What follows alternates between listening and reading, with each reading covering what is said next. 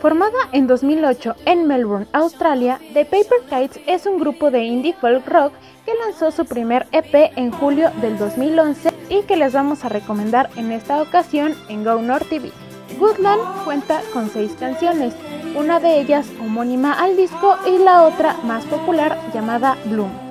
Es sin duda un EP 100% recomendable para todos aquellos amantes de la música indie y que pertenece a un grupo que no podemos dejar de escuchar. Es un grupo totalmente recomendable para aquellos que disfrutan de la música indie.